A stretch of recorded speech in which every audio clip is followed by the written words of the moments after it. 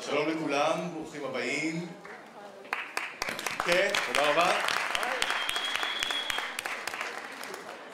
ברוכים הבאים לאירוע של המרחב הציבורי, עולים לברלין, דיון על ישראליות בארץ ובעולם, לכבוד הספר תעשיית השקרים של בן דרור ימיני. כפי שאתם רואים, א', תודה לכולכם, הגעתם באמת בדיוק בזמן. בן דרור ימיני התעכב, מגיע מברלין, אז אנחנו חיכינו לו כמה דקות והוא באמת ייכנס, ייכנס מיד. אבל אנחנו, אנחנו נתחיל ואני רוצה להציג בפניכם את האורחים שלנו. נמצא איתנו פרופסור משה ציברמן, ממרכז קוגנר להיסטוריה גרמנית באוניברסיטה העברית בירושלים, המומחה והידיעה לתרבות והיסטוריה גרמנית. מתן חודורוב, שזכה באורכה של חצי שנה בערוץ 10. מיותר להציג, הכתב הכלכלי של חדשות ערוץ 10 ומי שעשה סדרת כתבות על התופעה של עולים לברלין, אנחנו עוד כמובן נראה ממנה ונדבר בה. יואב גלבר, ראש המרכז לעמיות יהודית, כאן אצלנו בבינתחומי. מיד הצטרף אלינו בן דרור ימיני, שלכבוד ספרו תעשיית השקרים אנחנו עושים את האירוע הזה. למה, למה הצעירים שלנו עוזבים? ולמה לברלין? והאם הדבר הזה קשור למצב של החברה הישראלית, של מדינת ישראל, לדימוי שלה בתקשורת, בארץ, בעולם, לתופעות הדה-לגיטימציה של הישראליות שבן דרור ימיני מדבר עליהם בספרו? יש כמה נתונים שאני רוצה לשים אותם בפתח הדיון שלנו, שהם בעצם היוו את הסיבה למה אנחנו עושים את הדיון הזה. אנחנו עושים את הדיון הזה כאן ועכשיו, אנחנו בתקופת בחירות, רגע לפני הבחירות עצמם, כאשר הרבה מאוד צעירים שואלים את עצמם האם אנחנו באמת צריכים להישאר כאן, להילחם על דמותה של החברה הישראלית, או אולי לנסוע לברלין, כאשר ברלין זה כמובן מושג, מטאפורה למקום אחר. יש כמה נתונים שהתפרסמו לאחרונה בנושא הזה, כחלק באמת מהדיון, שהם לא פחות ממדהימים. למשל, שקרוב למחצית מאזרחי ישראל היו מעדיפים להיוולד במדינה אחרת. הייתם מעדיפים להיוולד במדינה אחרת? חד משמעית. שוב, אני לא יודע, אבל הנתון הזה הוא נתון די מדהים, וגם בפרספקטיבה בינלאומית הוא יוצא דופן, והוא באמת מעורר שאלות. 42% ממצביעי יש עתיד, ובטח יש פה כאלה, 42% ממצביעי יש עתיד שקלו או שוקלים לעזוב את הארץ. אני חושב שזה דבר מאוד מעניין, דווקא המפלגה שהיא מדברת על יש עתיד, אנשים אומרים, אוקיי, אולי העתיד שלנו הוא דווקא בברלין. וזה באמת מבטא את המתח הזה בין להיות פה, להיאבק על דמותה של החברה הישראלית, או אולי למצוא את התשובות במקום אחר. נתונים מעניינים מדברים על זה שיותר ויותר ישראלים מוותרים על אזרחותם. הנה בן דרור ימיני, אנחנו רואים אותו בברכה. כאן האירוע שלנו, בואו נצטרף אלינו.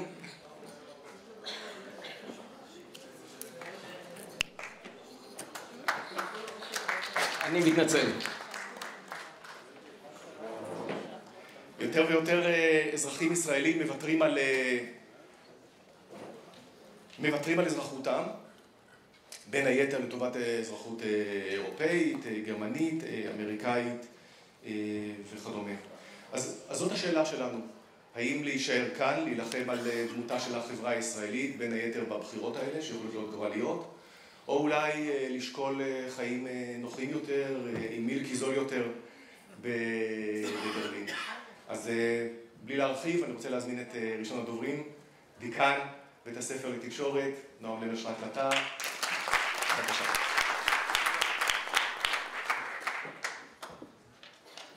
צהריים טובים, קצת רסתי עכשיו, אני קצת מתנשם. יש לנו היום דיון מאוד מרתק בזכותו של העיתונאי בן דרור ימיני, שלמען הגילוי הנאות הוא גם חבר אישי, אבל אני חושב שהוא אחד מבכירי העיתונאים בישראל היום, שכדי להתווכח איתו צריך להכיר את העובדות ולהכיר את ההיסטוריה, שעשה עבודת מחקר מאוד רצינית במשך כמה שנים ופרסם ספר, ספר על תעשיית השקרים, שמעורר דיון נוקב.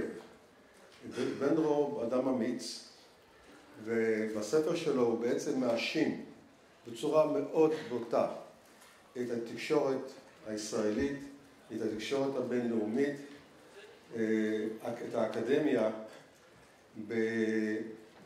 בחלקם הגדול בכך שישראל מאבדת את הלגיטימיות בעולם ועיקר, מבחינת התקשורת הישראלית, עיקר החיצים שלו מופנים לעיתון הארץ ובכירי כותביו שבן דרור לא היסס להם לצטט מהספר הארץ מהווה במה מרכזית להסתה אחד מעמודי התווך של תעשיית השקרים נגד ישראל. וכמובן מי שקורא את הספר יש גם הרבה מאוד ציטוטים מוזכרים שמות, בן דרור לא מסתתר מאחורי אף עץ ונוקב בשמות של אנשים מביא דוגמאות היסטוריות ואני גם קורא הארץ ותיק ולשמחתי נמצאים פה אנשים שגם מייצגים את התקשורת כמו מתן חודורוב שלדעתי גם כן מטובי העיתונאים שיש לנו בישראל בתחום הכלכלי ופרופסור צימרמן בהקשר לעולים לברלין שוודאי יש לו הרבה מה לומר בנושא. ויואב גלבר, פרופסור יואב גלבר אחד מבכירי ההיסטוריונים בישראל גם בתחום הציונות והוא ביקש להיות המגיב ואני בטוח שיהיה מאוד מעניין לשמוע את מה שיש ליואב לומר לבן דורו כי זה ויכוח בין עיתונאי שעשה מחקר היסטורי לבין היסטוריון. כך שאני בהחלט מצפה לדיון מרתק. בן דרור בספר שלו מתייחס למעמדה מאוד בעייתי של ישראל בעולם. אני חקרתי בהקשר לכנס הרצליה את נושא הלגיטימיות של מדינת ישראל והביטוק שלה ואני רוצה להראות לכם פה כמה קטעים שמאוד מחזקים את הטיעון של בן דרור לגבי הלגיטימיות והמעמדה הבינלאומי המאוד בעייתי של מדינת ישראל. תרגמתי את זה לעברית, איך השפעת יש מחקרים של ה-BBC ובן דרור רק מזכיר אותם יש ארגונים בינלאומיים שעושים כל שנה סקר בינלאומי לגבי מעמדם של מדינות וה-BBC בשיתוף פעולה עם אוניברסיטת מרילנד זה לא רק אנחנו אוהבים להגיד BBC תמיד נגדנו אבל בשיתוף עם אוניברסיטת מרילנד עושים כל שנה מחקר בעולם ושואלים תושבי מדינות שונות מה דעתכם על מדינה X? האם היא תורמת לעולם, האם היא מסכנת את העולם? או אם אין לכם דעה? ויש לי כאן תוצאות להראות לכם שבין 2010 ל-2013, 2012-2013 ישראל מדורגת, כפי שאתם רואים כאן, לצד פקיסטן, צפון קוריאה ואיראן כאשר 21 הצבע הסגול, מי שחושב שישראל היא חיובית, תורמת לעולם והצהוב, מי שחושב שישראל מסוכנת לעולם, אתם רואים שב-2010-2011 49% מתושבי העולם סברו שישראל מהווה מסוכנת לעולם ובמחקר שנעשה ב-2012-2013 אחוז החיוביים נשאר ב-27% אבל אחוז השליליים עלה ל-52% 52% מתושבי העולם חושבים שישראל מסוכנת לעולם ולדעת הספר של בן דרור התרומה של האקדמיה והעיתונות ועיתון הארץ יש להם חלק נכבד בנושא הזה כדי להרגיע אתכם במרכאות המחקר הזה גם בודק קהלים ספציפיים בארצות שונות איך הם רואים את ישראל המקום היחידי שאנחנו עדיין נתפסים בצורה חיובית זה בארצות הברית אבל בקנדה למשל שנחשבת לממשלה מאוד אוהדת 52% מהציבור ב-2010 ראה בנו גורם שלילי וזה עלה ל-57% ב-2013. אותו דבר לגבי רוסיה, ברוסיה שנחשבת למדינה אוהדת שלנו עד לא מכבר, הגורם השלילי עלה, עלה ב-15 אחוז במשך שלושת השנים, אותו דבר לגבי אוסטרליה שנחשבת למדינה אוהדת. בקיצור, קהלי כל העולם חוץ מארצות הברית יש הידרדרות מתמדת בראייה של ישראל ובראייתה של ישראל כסכנה לעולם. כך שבהחלט המחקרים מראים את זה. יש, יש טיעונים שאומרים יש אנטישמיות ומה שלא נעשה, דרשוויץ ישב איתי בפאנל בכנס הצבי, אמר מה שלא נעשה, יש אנטישמים, לא אוהבים את היהודים, אין לנו מה לעשות, אבל פה הבאתי לכם ציטוט מאלן רוזנשיין שהוא היה נשיא ארגון הפרסומת הגדול בעולם, BBDO, שהיה כאן בכנס בבינתחומי, שאמר תפיסת המציאות היא המציאות. אם אנשים תופסים את המציאות כישראל כגורם בעייתי, זה המציאות שלהם. הוא אומר דבר מאוד חשוב, ופה אני אסיים, unless and until Israel promotes coherent, consistent policies on the establishment of a Palestinian state, Israel's image in the world will continue to decline to the point of threatening its very existence, ואז הוא מסכם ואומר, זה לא בעיה של אנטישמיות, וזה אומר יהודי שאוהב אותנו. זה לא בעיה של אנטישמיות, זה בעיה פוליטית, זה בעיה של מדיניות, זה בעיה של מנהיגות. וכאן אני מציב את השאלה באמת לגבי, לגבי הספר של בן דרור, האם באמת שינוי מדיניות, שינוי פוליסי, אנחנו נתפסים כמדינה כובשת. ועדה בראשות, בראשות השופט העליון אדמונד לוי הגישה ב-2012 מסמך לבקש, לממשלת נתניהו שאמר ישראל היא לא כובשת בשטחים לפי אמנות בלפור וכולו וכולו כך שהתפיסה של ועדה ממשלתית אומרת שישראל היא לא כובשת, היא יכולה להתנחל איפה שהיא רוצה. המזכיר האו"ם, אין לי, פה זמן להראות לכם, מזכיר האו"ם בפירוש הציג ב-2014 למועצת הביטחון שישראל מדינה כובשת, שהמצב הזה הוא, הוא לא, הוא unsustainable, אי אפשר להקביל איתו, כך שלדעת רבים וטובים, ישראל, המעמדה של ישראל הולך ומתדרדר. יש כאלה שאומרים, כולם אנטישמים, לא יעזור כלום. ויש כאלה שאומרים, אם תגלה מנהיגות, תקבל החלטות, תתמודד עם הבעיה, אז בפירוש תוכל להתמודד איתה, וזה אני משאיר פתוח. אז שוב, תודה רבה לכל האורחים שלנו, ותודה רבה.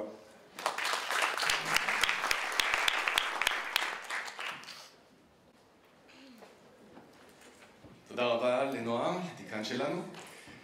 וראשון הדוברים שלנו יהיה חתן האירוע, בן דרור ימיני. עיתונאי באמת מטובי העיתונאים שלנו, חוקר, משפטן, יש לו להודות על האמת. ובהקשר של הדיון שלנו, שתי שאלות שאני רוצה שיהיו ברקע הדברים שלך. אחת זה האם התקשורת מעודדת את העזיבה לברלין, או בכלל את העזיבה של אנשים צעירים, ההצגה של המצב הישראלי כמצב קשה, כמצב בלתי אפשרי, מעודד את המגמה הזאת ואת האם די הלגיטימציה של ישראל היא גם לגיטימציה של ישראל בעיני הצעירים שלה עצמה. והשאלה השנייה, האם באופן פרדוקסלי, האם הדה-לגיטימציה של ישראל בעולם והעידוד של האנטישמיות לא מחזיר את הצעירים בחזרה לכאן? שהרי אם שנאת ישראל ושנאת היהודים פושה באמת, כפי שאתה מציג בספר, בעקבות תעשיית השקרים, אין לנו מה לחפש בעולם, אלא לחזור כאן לחיק החמים של הישראליות. ואולי באמת באופן פרדוקסלי, ברלין היא מקום נפלט, כי שם יש רגשות אשמה כאלה חזקים שממתנים את האנטישמיות. אז אולי זה לא מקרה שברלין הפכה להיות ציר כזה לישראליות. בן דרור, בבקשה. תודה רבה. ראשית, אני שוב מתנצל על האיחור שלי, לא בסדר. דבר שני, תודה רבה למארגנים, תודה רבה לנועם, תודה רבה לאלה שהגיעו, תודה רבה לפאנליסטים. אתה שואל שתי שאלות מאוד מאוד חשובות, שאני מודה שכתבתי את הספר גם בין השאר כדי לנסות לתת תשובה. בגדול התשובה לשתי השאלות האלה היא חיובית, בדיוק כשם תקשורת, אקדמיה, גורמים לכך שישראל תהיה שנואה, גם על ידי ישראלים אגב. בדיוק באותה מידה, מה שמתעורר בחו"ל גורם לכך שישראלים לא יישארו בחו"ל, גורם לכך שישראלים יחזרו לחו"ל. וזה מאוד מעניין, זאת אומרת, הקשר בין שני הדברים האלה, כי זה שתי דחיפות שבעצם מונעות על ידי אותו דבר. כשיש תעשיית שקרים, אז ברור לחלוטין שהאנטישמיות מתפתחת, לא רק אנטי ציונות. אני לא תמיד בטוח שיש הפרדה כל כך גדולה בין אנטי-ציונות לאנטישמיות, אבל נגיד שכן, לצורך העניין. אז בוודאי שהא בהא תליא. אבל כמה מילים על, על, על הספר, על הרקע, למה כתבתי בכלל את מה שכתבתי. באופן אישי, במשך הרבה מאוד שנים הייתי חלק ממה שקרוי מחנה השלום. ביטוי שהולך ונעלם לטובת מחנה הזכויות. השינוי עצמו הוא מעניין והוא מרתק מה קרה לחברה הישראלית שפעם בשנות התשעים פעלנו למען השלום בשנים האחרונות, בעשור האחרון בעצם נפח הפעילות הגדול של אלה שהיו פעם פעילי שלום הוא במה שקרוי מחנה הזכויות, לדעתי הם לא כל כך עוסקים בזכויות, הם עוסקים בעיקר בשלילת זכויות, אבל זה אולי אחר כך. עכשיו כתבתי את הספר מהסיבה הפשוטה, אני פשוט כשהייתי פעיל נתקלתי בעוד ועוד ועוד ביטויים צורמים. אחד האירועים המכוננים היה בוועידת דרבן. ועידת דרבן, שנת 2001, ועידת האו"ם נגד גזענות וכל סוגי האפליה. שם יפה, שם שמי יכול להתנגד לוועידה נגד הגזענות.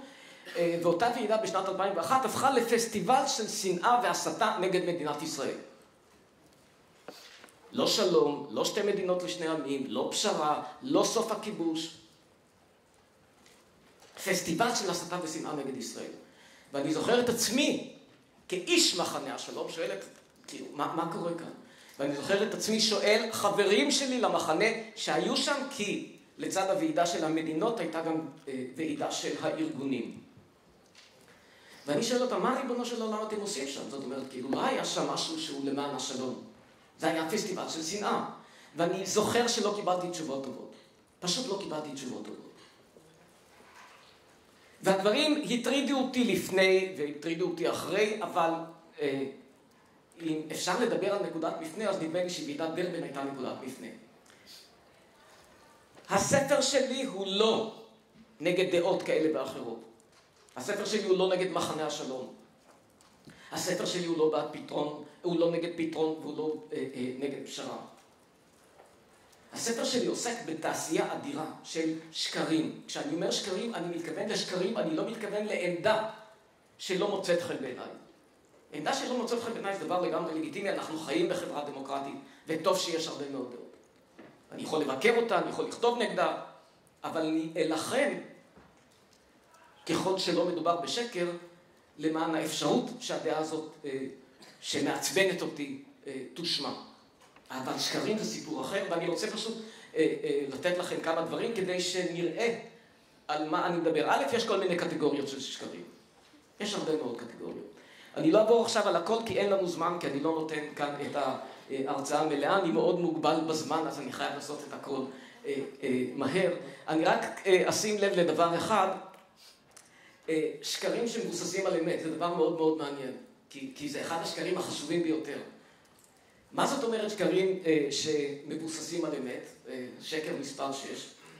אה, יצא לא מזמן ספר בארצות הברית לפני שנה, מקס בלומנטל. עיתונאי ישב אה, תקופה לא קצרה בישראל, אה, נפגש עם הרבה מאוד קבוצות והרבה מאוד אנשים ופרסם ספר שכשאתה קורא אותו אתה מבין שישראל היא מפלצת, פשוט מפלצת. עכשיו הוא פגש כל מיני אנשים שכמובן משוייכים לחוגים הגזעניים ביותר בחברה הישראלית ויש בחברה הישראלית תופעות איומות ונוראות של גזענות. נפגש עם רבנים, נפגש עם אנשים שמקורבים לנוער הגבעות, תג מחיר, ושמע מהם דברים איומים והנה יש ספר. אם הכל נכון, לא שהכל נכון, אבל אם הכל נכון לצורך העניין, אז מה הבעיה? אני אגיד לכם מה הבעיה. הבעיה שספר כזה אפשר לכתוב גם על שוודיה ודנמרק. כי יש שם skinheads. אגב, הרבה יותר. הרבה יותר.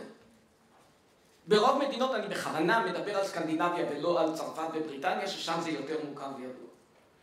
אבל המדינות המתונות ביותר, יש שם תופעות איומות ונוראות של גזענות, של התנכלות. אני כבר לא מדבר על שרפת המסגדים שהייתה בחודש האחרון בשוודיה. אני מדבר על תופעות הרבה יותר חמורות עם מובהקות. וכאשר אני אומר מובהקות ואני מדבר על הספר הזה ואני מדבר על שקרים שמבוססים על אמת, כי קורים פה גם דברים שצריך לגנות. אז כדאי לנו לכולנו לאמץ מושג שקוראים לו מובהקות סטטיסטית. מה זאת אומרת מובהקות סטטיסטית? כאשר מצביעים על תופעה, גם בתוך החברה הישראלית, גם בתוך החברות האחרות, והופכים אותה, תראו, זה הישראלים, בגלל שקרה דבר כזה וכזה במחסום, וקורים דברים לא נעימים במחסומים. מכך להשליך על כל החברה הישראלית פה נוצרת הטעיה, גם אם נקודתית זה לא שקר. וזה אה, שקר, והסיפור הזה של לקחת דברים ולנפח אותם ולהגזים אותם ולהפוך אותם למשהו הרבה יותר איום וכאילו מאפיין את החברה הישראלית, תופעה הזאת רווחת מאוד. והרבה מאוד פעמים אני נתקל בשאלה הזאת, רגע, רגע, רגע, מה פתאום אתה עושה השוואות? אני עושה השוואות כדי להציג את הדברים בפרופורציות, במידתיות. כמה דברים נכונים, כמה דברים הם בעצם מייצגים איזושהי תופעה מאוד מאוד קטנה. אה, דיברת, נועם, על אה, עיתון הארץ, ולמה אני אה, כן כועס, ויש לי פרק שלם על עיתון הארץ, סתם דוגמה שאפילו לא מופיעה בספר. לפני כמה חודשים הייתה מורה ערבייה מנצרת שנעצרה בשדה התעופה באילת, ועיכבו אותה וחקרו אותה, ממש לא בסדר, ומיד אחר כך הופיע גל של מאמרים, גם בעיתון שעבדתי בו אז, מעריב, גם בעיתון הארץ, שפחות או יותר הפכו, חלק מהם, לא כולם, הפכו את ישראל למדינה גזענית, התרגלנו, נאצית. תראו מה עושים. יש רק בעיה אחת, זאת אומרת, התופעות האלה של לעצור אה, אנשים בגלל המוצא שלהם, בגלל הדת שלהם, בגלל שהם מוסלמים, בואו נשים את הדברים על השולחן, קיימות בכל שדה תעופה בעולם. לידי, מול עיניי, הייתי שנה שלמה בבוסטון, והשתמשתי הרבה מאוד בשדה התעופה, עוצרים אותם. מעכבים אותם, זה לא בסדר, זה כן בסדר, זו שאלה אחרת. אני רק לא חושב שארצות הברית היא נאצית, אני לא חושב שבשדה התעופה בלונדון, בהיטרו, כאשר אה, אה, אה, לא נתנו לשלושה מוסלמים לעלות ועיכבו טיסות שלמות ועוד ועוד ועוד ועוד מקרים, זה לא הופך את המדינות האלה לגזעניות. אלה תופעות שצריך בחלק מהמקרים להיאבק בהן, זה לא מוצדק, זה לא בסדר, אבל מפה ועד הנאציפיקציה של ישראל, הדרך מאוד ארוכה. אבל אנשים עושים את זה עם אצבע מאוד קלה על ההדק. בענייננו אצבע מאוד קלה על המקלדת. ובסופו של דבר, אה, מה שאנחנו רואים כאן זו התדמית של ישראל. אה, אני רק רוצה לתת כמה דוגמאות קטנות כדי לסבר את האוזן על מה אני מדבר.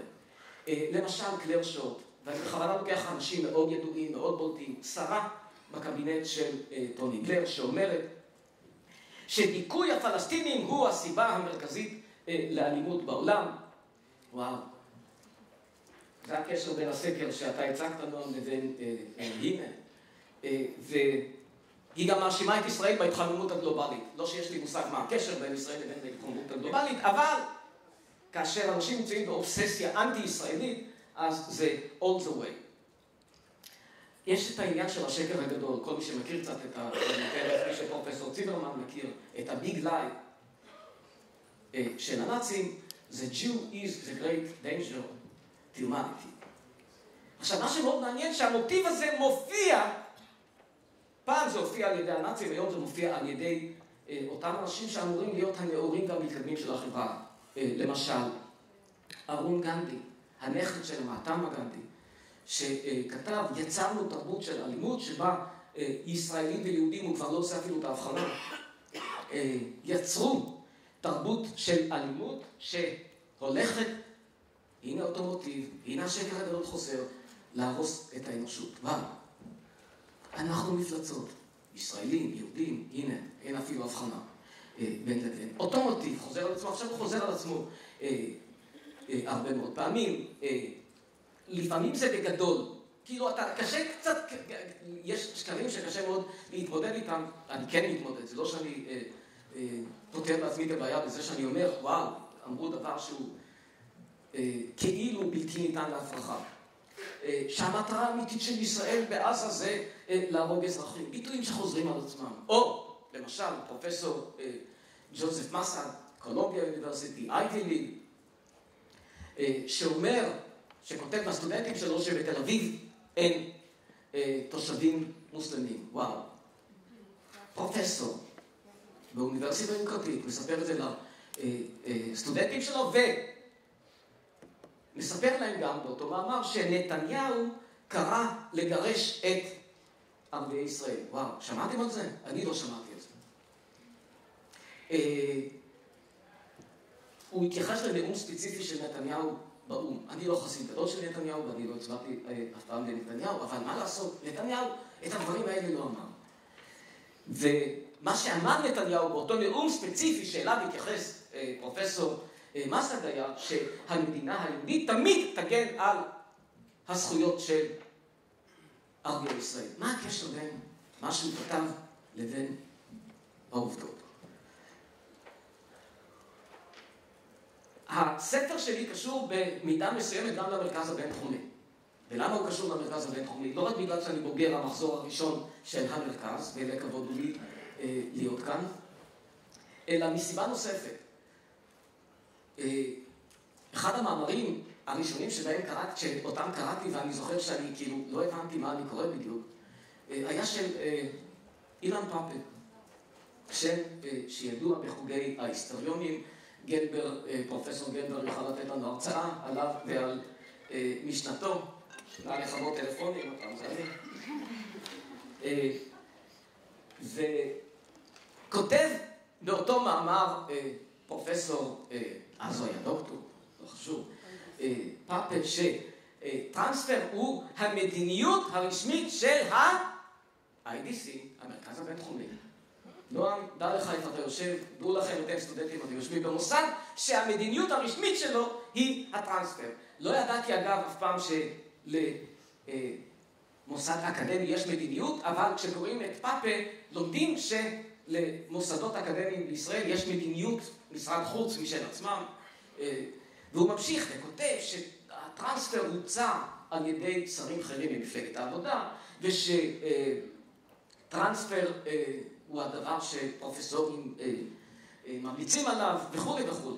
ומעטים מגנים, אה, מעזים אה, לגנות את הטרנספר. ואני זוכר את עצמי אז, אה, עורך עמודי הדעות של עיתון מעריב, אה, אומר, מה זה הדבר הזה? התקשרתי אליו ואמרתי לו, אה, קראתי מאמר ואתה חתום עליו, ונדמה לי שיש שם איזושהי הבנה, או שלא תרגמו אותך נכון, או שלא הבינו מה שאמרת, או שאני לא יודע מה. אומר לי, לא, לא, אני כתבתי, זה מאמר שאני חתום עליו, אף אחד לא תרגם לי, כתבתי אותו אה, באנגלית. אמרתי לו, אתה יכול אבל להסביר לי, זאת אומרת, איפה המדיניות הרשמית של המרכז הבינתחומי לטרנספר? אמרתי לו, אה, היה איזשהו גמגום בתשובה שלא הבנתי אה, בדיוק מה הוא אומר לי. אה, איפה אותם פרופסורים שממליצים על אה, טרנספר כמדיניות? אמרתי לו, אני עורך עמודי דעות, אה, אני מכיר גם עורכים אחרים, אני מכיר את העיתונים. לא זכור לי שבשנים האחרונות, בעשור האחרון, שמישהו פרסם מאמר בזכות הטרנספר, איך אתה כותב דבר כזה? זאת אומרת, כאילו, הוא אומר לי, לא הבנתי מה הוא אומר. לא הבנתי מה הוא אומר.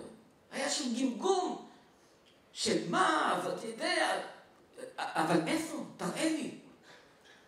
כלום, אפס, כלום. והספר של האיש הזה הוא הספר, אחד הספרים, אני לא רוצה אחד הספרים, ה-Ethnic of Palestine, אחד הספרים הנלמדים ביותר בהקשר של הסכסוך הישראלי-ערבי.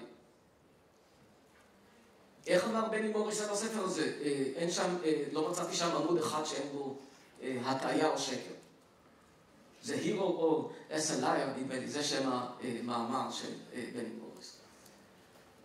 הנה זה קורה. הם משקרים. עכשיו, כשיש עוד ועוד ועוד שקרים, יש גם תוצאות. ראו הרבה מאוד פעמים, שוב, זה בא מאצלנו, מאיתנו. אני לא צריך ללכת לחו"ל ואני לא צריך לדבר על אנטישמיות כדי אה, להבין את הדברים האלה. אה, כותב איציק לאור, שעלה לכותרות בחודש האחרון אה, משום שרצו להעניק לו את פרס אה, לנדאו, מאה אלף שקלים, מגיע לו, בטח, משורר אה, אדיר. רק שיש בעיה, האיש פרסם מאמר שבו הוא כותב שגז צ'מברס, תאי גזים הם לא הדרך היחידה לבצע השמדה. זה מספיק לפתח שיעורים גבוהים של תמותת תינוקות. וואו. ואז אתה מסתכל על עצמך, ואתה אומר, רגע, מה, כאלה איומים ונוראים אנחנו עוסקים בהשמדה של העם הפלסטיני, אבל מתוחכמים, לא הולכים לתאי גזים. יש שיטות הרבה יותר מתוחכמות. כשאתה בודק את הנתונים, וזה מה שמעניין, וזה מה שמופיע גם אצלי בספר, תעשיית השקרים לא מציגה את השקרים, היא מציגה בעיקר את ההפרחות השקרים. זאת אומרת, אני רוצה שהדברים יהיו אה, ברורים. עכשיו, כשאתם כאילו, כשאתה בודק את הדברים, אתה הולך למקור כמו הבנק העולמי, אתה מוצא שבספר, אגב, זה מוצג מ-67 עד היום, התוצאות הן דומות. אתה מוצא שבעצם תמותת התינוקות ירדה באופן דרמטי. ואז אתה, אתה שואל, כאילו, אתה, זה מעורר את השאלה, למה הוא משקר? למה הם פרסמו כזה דבר? אין לי תשובה. הספר שלי לא, לא עוסק בשאלת למה. אבל זה דבר שהוא פשוט מטריד. למה הוא היה צריך לשקר? אגב, אנחנו עושים מספיק דברים שהם לא בסדר, שמותר ואפשר וצריך להציג אותם. אבל למה לשקר? למה להפוך את הישראלים לנאצים? ביקורת על ההתנחלויות, וביקורת על הכיבוש, וביקורת על הפרת זכויות אדם, אלה דברים לגיטימיים. מאותתים לי כבר שאני צריך לסיים. אני... אה, וזה נמשך ונמשך ונמשך ונמשך. עכשיו, אה, יש שקרים, למשל ה-BDS, זה מהווידאו האחרון שלו, אה, מסביר איך, מהי חלוקת הכספים בין אה, תלמיד ערבי לתלמיד יהודי. התקשרתי אליהם, שאלתי אותם מה המקור. מה המקור של האפליה שאתם מציגים לסטודנטים שלכם? אני רוצה פשוט לדעת. את השאלה, מכיוון שהסרט הזה הוא סרט מאוד מאוד חדש, אה, את השאלה הצגתי להם לפני אה, שלושה, ארבעה שבועות, אני עדיין ממתין לתשובה. אבל בינתיים מצאתי את התשובה בעצמי, כי אני אוהב גם לתת תשובות, כמו שהבנתי. זאת אומרת, נכון להיום, היו תקופות של אפליה. לא שלא הייתה אפליה, ולא ש... שאני בא לטעון שאין אפליה בישראל. אה, נכון להיום בעצם השוויון הוא כמעט מלא. או מלא, או אפילו יתרון קל. שוב, בנתונים סטטיסטיים, איך אתה בודק ואיך אתה מחלק ואיך פה ואיך שם. אבל בנתונים הבדוקים ביותר שמצאתי, יש שוויון מלא עם אפילו קצת יתרון לתלמיד ערבי בודד לעומת אה, אה, תלמיד יהודי. אני צריך לסיים, אני יודע. אז אני... אה, הרבה פעמים כשאני מציג את ההשוואות האלה, השאלה שנשאלת היא, רגע, נו, אה, למה אתה רוצה להשוות את ישראל לכל מיני מדינות אחרות, שהן לא באותו סטנדרט, ואני שומע את הדברים האלה. והרבה מאוד פעמים כשאני נותן את ההרצאות האלה בקמפוסים בארצות הברית, אז uh, התשובה, השאלה המתריסה הראשונה, but we hold you for higher standards.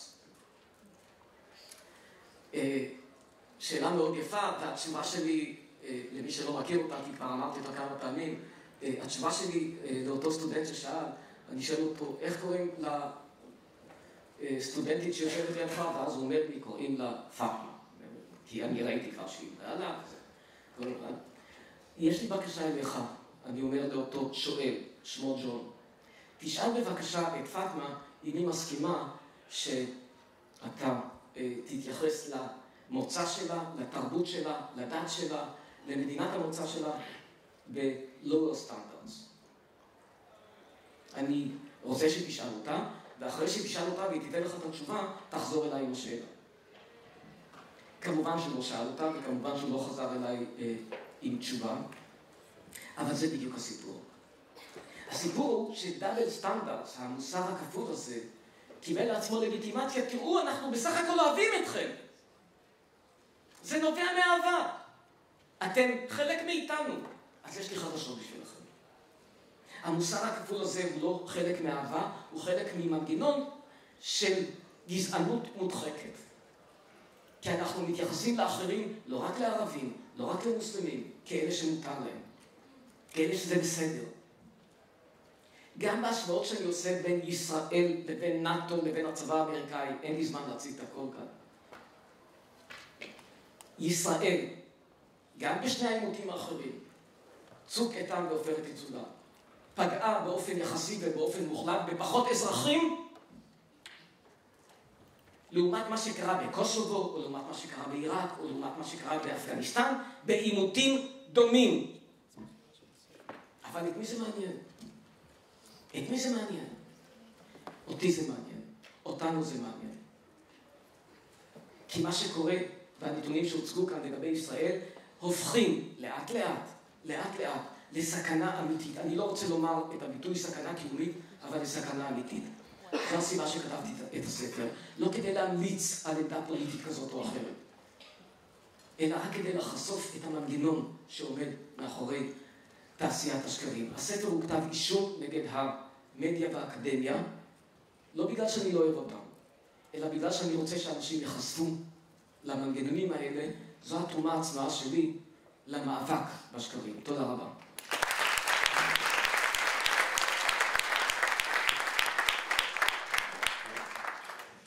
טוב, תודה רבה. תודה רבה, אה, הסטודנטים שלי מכירים היטב את הדילמה הזאת של אה, עובדה או דעה, נכון? מה זה עובדות ומה זה דעות ומה זה שקרים, והאם שקרים יש רק לגבי עובדות או גם לגבי אה, דעות, אנחנו מתלבטים בזה הרבה בשיעורים שלנו שעוסקים בלשון הרע, וכמובן זה עומד ביסוד הדילמה גם, גם שלנו. ואני רוצה לעבור לדובר הבא ולשאול אותו שתי שאלות מקדימות. אה, אחת, האם באמת יש, אה, יש שנאה עצמית? האם יש אה, תופעה כזאת? האם אנחנו, האקדמיה, התקשורת בישראל מוסיפות, שלא מדעת אולי, לתופעה הזאת של שנאת ישראל, לאנטישמיות, תופעה שאנחנו מכירים שהיא רווחת בעולם, או שאולי אנחנו באמת צריכים, איך אומר בנט, להפסיק להתנצל. וזה קשור ישירות לשאלה הזאת, האם אה, אנחנו מתנצלים, ומה אנחנו יכולים ללמוד אולי מה... מהתרבות הגרמנית, תרבות שכמובן אה, מבוססת על, אה, על ההתנצלות, על התנצלות על. על מה שהיה, והאם ההתנצלות של הגרמנים זאת שמאפשרת לנו לחזור לברלין. משה צימרמן. עשר דקות.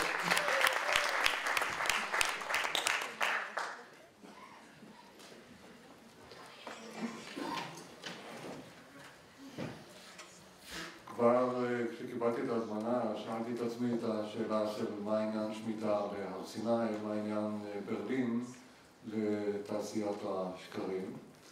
ועדיין אני תוהה אם החיבור שאנחנו מנסים לעשות אותו כאן איננו חיבור מלאכותי ולכן אה, הפעירה הזאת, ההיאפיס הזה, יופיע גם בדברים שאני מביא כאן, גם בתור תשובה ישירה לשאלות שנשאלתי לשאלות שנשאלנו בהתחלת הפגישה הזאת, ושאלות אחרות שאפשר להעלות אותן אה, מתוך העימות הזה בין הדימוי של הישראלים אה, לבין הנוכחות שלהם בברלין.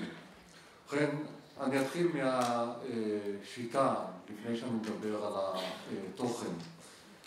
אה, אני אביא דוגמה מהתנסות שלי. הייתה ועדת חקירה שהייתה צריכה לטפל בשאלה עד כמה הדיפלומטים הגרמנים אה, היו שותפים למעשיהם של הנאצים. והוועדה הזאת ישבה, אוסף של היסטוריונים, וזה כבר בעצם האמירה הזאת אומרת שזאת עבודה רצינית, והם הגיעו למסקנה שהייתה מנוסחת בערך אלף עמודים, שאומרת, כן, משרד החוץ הגרמני, היה שותף אה, אמיתי למה שעשה הרייך השלישי, כולל המעשה הקיצוני ביותר שלו, שהיה השמדת עם, או מה שאצלנו אה, מוגדר כשואה.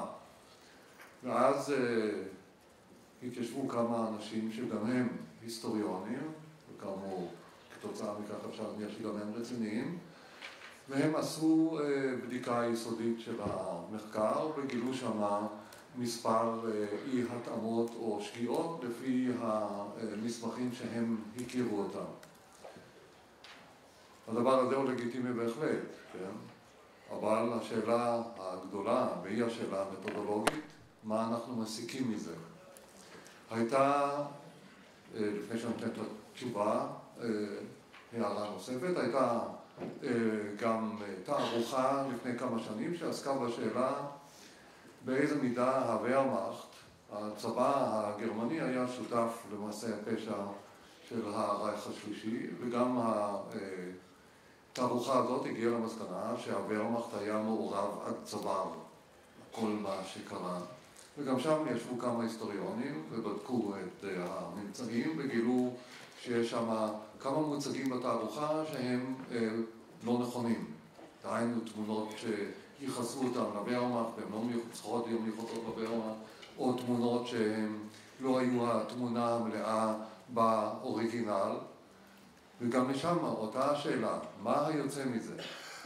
ובכן, כל זמן שהביקורת על טעויות, או במקרה שמדובר כאן היום בשקרים, התיקון של הטעויות והעמידה על כך שיש דברים שאינם נכונים, בין אם הם שקרים או יגדורו כדברים שאינם נכונים, היא הדבר הראוי ביותר מנקודת הראות של כל חוקר ומנקודת הראות של כל אדם הגון.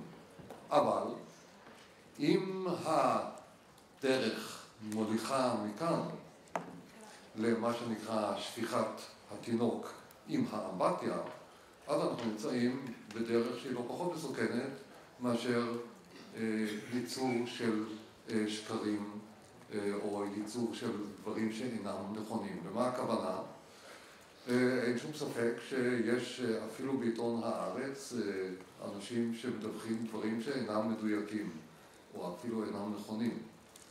אבל האם מתוך זה אנחנו נגיע למסקנה שכל הביקורת שקיימת בעיתון מהסוג הזה, או כל הביקורת שמופיעה בספרות בארצות הברית בנושא ישראל, היא ביקורת שגויה.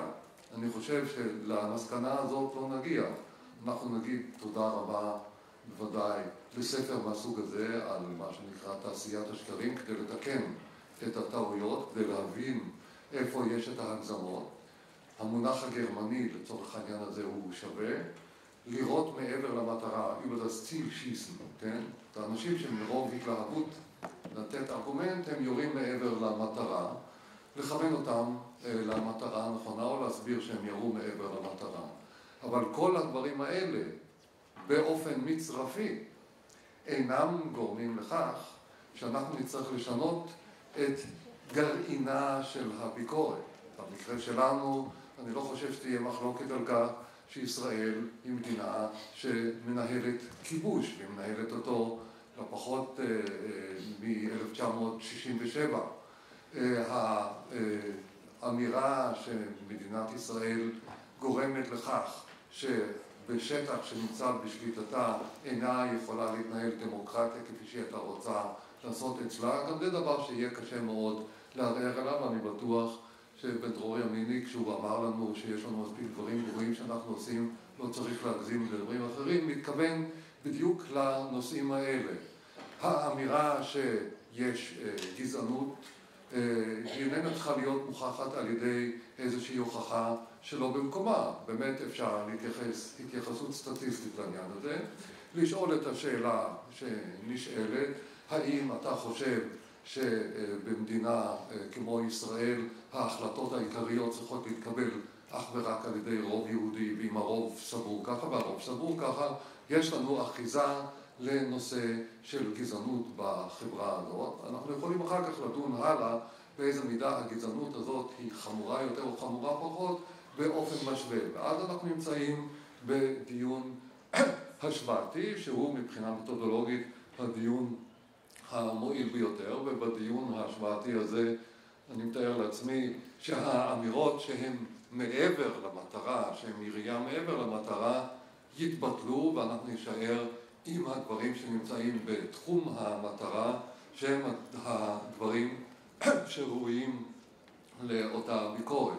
הלאומנות, הגזענות, הנטייה לשנוא את הזר או להגדיר את האחרים בתור זר, וכולל גם נושא כזה כמו הטרנספר במדינה שבה האיש שיצר מפלגה כדי ליצור טרנספר לאוכלוסייה הערבית, בין בתוך ישראל בין מחוץ לישראל, ברגע שהוא הופך להיות גיבור תרבות או גיבור לאומי באופן מוכר, פירושו של דבר שההנחות שלו אינן פסולות, פירושו של דבר שרעיון הטרנספר אכן יתקבל, לא צריך להיות מוכח רק בדרך הזאת, אבל אפשר להתייחס לדברים האלה בתור חלק מן ההוכחה.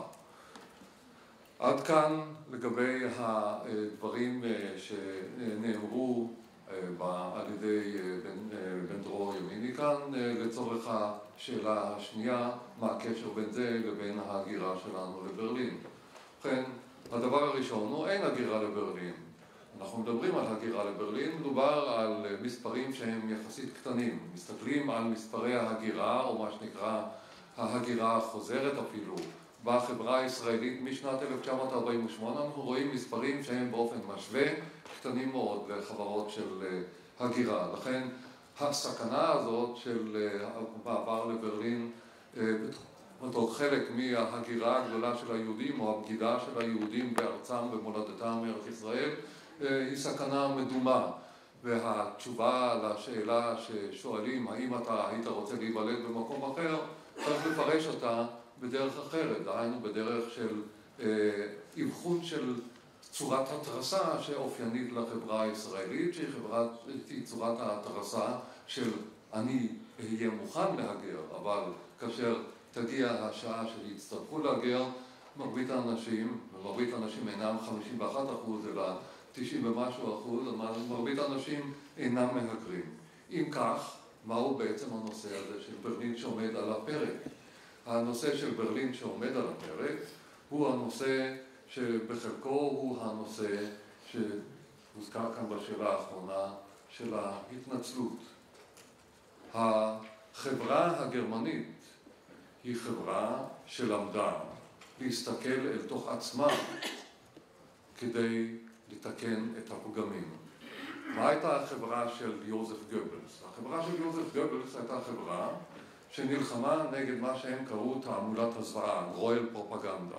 זאת אומרת, אנחנו אומרים אמת, האחרים משקרים, כל העולם משקר, היהודים הם משקרנים הראשונים, ולכן אנחנו צריכים להילחם בהם, ולכן אנחנו נוכל ככה להגן על כל מה שאנחנו עושים. הדרך הזאת הובילה בסופו של דבר, שהם יכלו לעשות את המעשים הנפלאים ביותר, מתוך תחושה שמה שהם עושים בסדר, ומה שלא בסדר זה רק תעמולת זוועה של אחרים. אחת המסקנות החשובות שהחברה הגרמנית הסיקה ממלחמת העולם השנייה, מהתקופה של הרייך השלישי, הוא, אתה צריך להסתכל פנימה, לבדוק באיזה מידה הביקורת הזאת היא מבוססת או מוצדקת, ומנסה לתקן, ולא מתבייש גם לבקש סליחה על מה שאתה עשית. וזאת החברה הגרמנית שאנחנו מכירים אותה אולי לא מ-1945 ככה, אבל בוודאי משנות ה-70, מהשנים שבהם המפלגה הסוציאל דמוקרטית נכנסה לשלטון.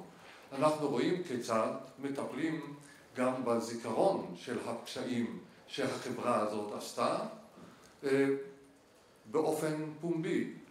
החברה הזאת גם גילתה, החברה הגרמנית, שבעצם העובדה שהיא מודה בפשעים של מקורותיה, לא של אנשים שחיים היום, אלא שחיו אז, היא יוצרת לעצמה את היכולת לבקר גם את האחרים, להמשיך לבקר את עצמה ולמנוע טענות שהן טענות או שקריות או טענות גורפות שבאות, טענות, טענות שבאות מן החוץ. אני מקווה שהדבר הזה ברור לכל אחד מכם אם הוא ביקר בברלין. נכון שחלק נהנים מהמילקי ב-19 סנט, ועל זה בוודאי אנחנו עוד נשמע, והם יכולים ליהנות גם משירותי תחבורה ציבורית נוחים ביותר, ומעבר לזה יכולים לראות כיצד חברה דואגת למה שנקרא מדיניות רווחה ואיננה נגרפת עד הסוף לכיוון של הקפיטליזם החזירי, אבל מה שרואים מעבר לזה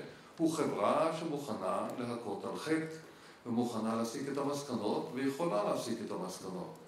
כי אחד הדברים שהישראלי נתקל בו כאשר הוא מגיע בין אם לברלין או בין אם למרביתה של אירופה הוא שחברות שבעבר היו צהובות אלו לאלו, שונאות אלה לאלה, משוכנעות שדרך המלחמה היא הדרך היחידה, משוכנעות שהאמת המוחלטת נמצאת רק איתם והשקר נמצא בצד השני, שהשיטה הזאת היא שיטה שעבד עליה הקלח, שיטה שמוליכה רק לאסון, כמו שהיה בשתי מלחמות העולם, ושצריך למצוא לה את התרופה.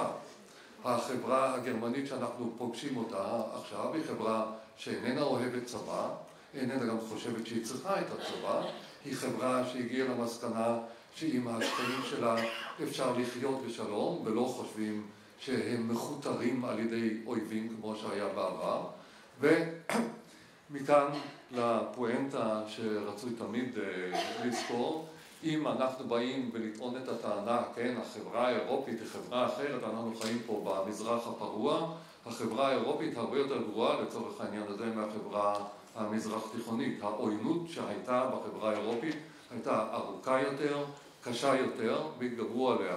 העוינות שהומצאה כאן במזרח התיכון היא יחסית חדשה, ובהחלט אפשר להתגבר עליה לא פחות מאשר על הנושא על השנאה כפי שהייתה באירופה. והנושא האחרון לצורך העניין הזה שהוא עלה כאן, שהוא נושא האנטישמיות. השאלה אם ה...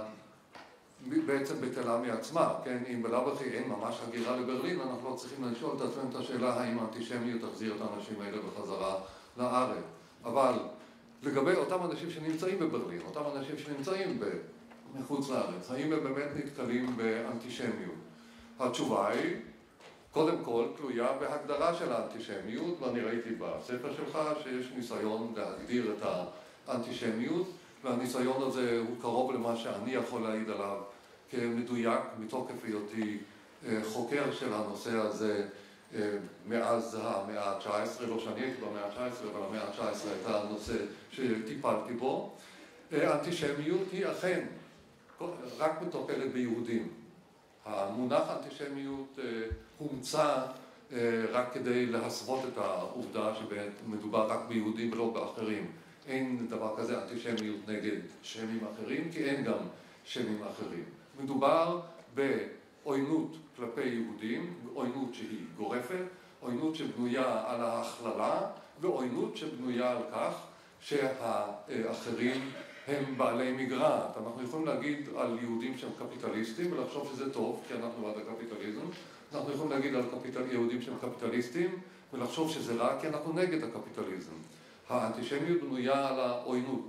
עכשיו, אם אנחנו מסתכלים על המספרים באירופה, האנטישמיות שם, וזה מוסכם על רוב הישראלים כששואלים אותם בעניין הזה, הרבה יותר קטנה מאשר הייתה בעבר, לפי הסטטיסטיקה, והיא יותר קטנה מאשר האנטישמיות במחוזותינו. ואז באה השאלה הבאה, איך זה קרה? קודם כל, האירופאים למדו כנראה משהו, או שהשתנו התנאים באירופה ואינם זקוקים יותר לאנטישמיות כדי להפעיל אותה הפעלה פוליטית. ודבר שני, קרה משהו אחר מהפכני שאנחנו צריכים לחשוב עליו, איך חברה שהאנטישמיות לא הייתה חלק, בוודאי לא חלק מרכזי בחיים שלה, החברה הערבית או החברה המוסלמית, טיפחה את האנטישמיות, ייבאה את האנטישמיות ואת המונחים האנטישמיים מאירופה. האם זה לא קשור בעימות שלהם עם מה שהם מגדירים הבעיה היהודית, עם הנוכחות של ישראל? עכשיו, מכאן כמובן אינני רוצה לקפוץ את הקפיצה שהיא לא ראויה, לבוא ולומר, ישראל אשמה בכך שיש אנטישמיות, אלא המציאות של ישראל והמדיניות של ישראל גם אם היא לא כל כך נוראה כמו שהשקרנים לפי הספר מציגים אותה, היא יוצרת מצב שבו יש סיכוי לקליטה של טענות אנטישמיות ולהפצה שלהן. זה המקום. ובכן, אם אני סוגר את המעגל, אני יכול לבוא ולומר, אתה הלכת לברלין וראית איך אפשר במידה רבה להתגבר על האנטישמיות, או to marginalize, להפוך אותה לשולית, ויש לך את המרשם גם איך לעשות את זה במזרח התיכון. תודה רבה.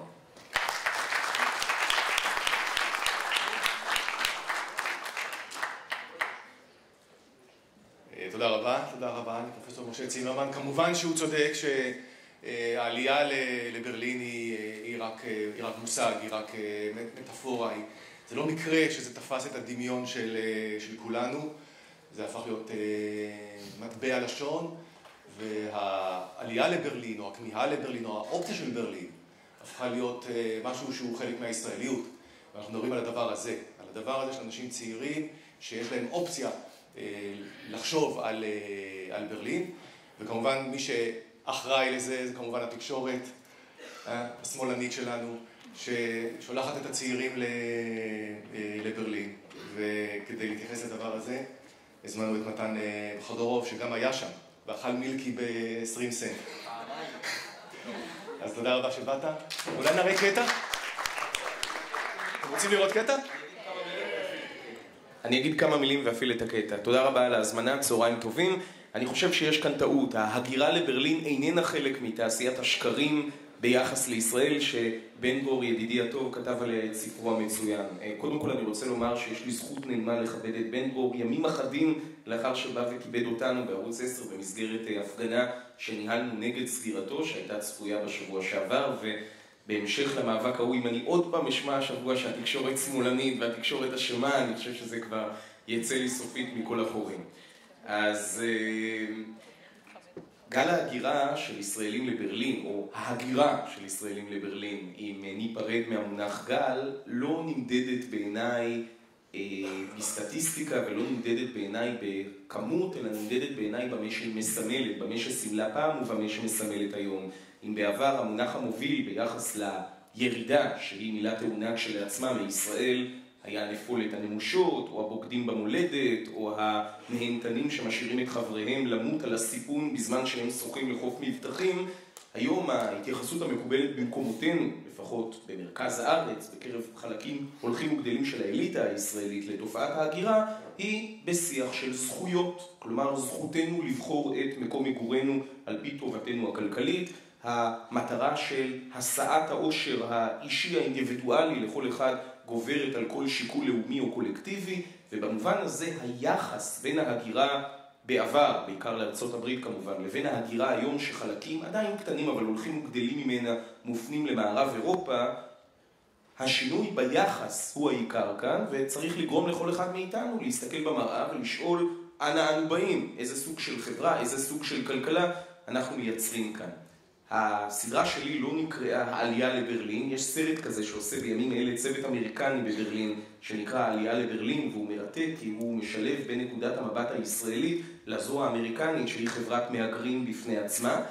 הסדרה שלי נקראה יורדים החדשים, דווקא בהתכתבות עם אותו מונח ישראלי שורשי של ירידה או של הגירה שלילית מישראל והוא בדק יותר את הבעיות שגורמות לאנשים לשקול סוג כזה של הגירה מאשר את המספרים שבהם היא מתבצעת בפועל. כי המספרים הרי נמדדים על ידי הלשכה המרכזית לסטטיסטיקה, אומנם בגירעון מסוים, על מנת לדעת אם אדם עזב את הארץ לצמיתות או סתם נסע להשתלם שנה בחו"ל, אתה צריך להמתין כמה שנים כדי לראות אם הוא חוזר.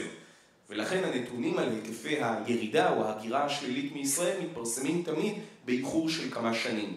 מאזן ההגירה מוגדר כהפרש בין מספר החוזרים לישראל מקרב מי שעזבו אותה לבין מספר היוצאים ממנה לתקופה העולה על שנה כל שנה. קצת מסובך, אבל מאזן ההגירה של ישראל שלילי כבר הרבה שנים והוא הולך ונעשה שלילי יותר ויותר משנה לשנה באופן עקבי מאז שהמשבר בכלכלה העולמית פחות או יותר נרגע או תם ועדיין המספרים קטנים המספרים קטנים, ואני הייתי הראשון לומר את זה לאורך כל סדרת הכתבות, אנחנו מדברים על מספרים שנעים היום סביב מינוס 7,100 ישראלים בשנה. מינוס 7,100 ישראלים בין העוזבים ששבו לארץ לבין ישראלים שעוזבים את הארץ. זה פחות או יותר מאזן ההגירה השלילי, שנה קודם הוא היה 6,600, עכשיו הוא 7,100, יעד ההגירה העיקרי נשאר עדיין ארצות הברית בכלל, לא ברלין, אבל נכון שמדינות במערב אירופה וגרמניה וברלין באופן, אה, הייתי אומר, מאוד אה, ספציפי, הפכו ליעד פופולרי יותר ויותר, כלומר עקומת הגידול של ברלין בקרב הבוחרים לעזוב את ישראל אה, היא כנראה העקומה הכי תלולה היום, אם כי היא עדיין לא היעד המוביל מקרב המהגרים, שכאמור מספרם קטן. אז קודם כל טענת הפתיחה היא שלא מדובר בתופעה סטטיסטית מאיימת על חוסנה ועל שלמותה של ישראל, אבל גם שלא מדובר בטענה שקרית של המלעיזים כנגד ישראל והמבקשים לפגוע בה, או בעצמאותה, או בשלמותה, או באמון הציבור בה. מדובר בדפוס התמודדות, בינתיים שולי מבחינה סטטיסטית, עם בעיה מרכזית מאוד מבחינה חברתית. ואם יורשה לי להמר, לפחות באופן סטטיסטי, לכל עמיתיי המכובדים כאן בפאנל יש דירה בבעלותם, בזמן שלרוב הסטודנטים היושבים לפניכם בפאנל אין דירה בבעלותם וגם לא תהיה להם כזו ב-10, 15, 20 השנה הקרובות.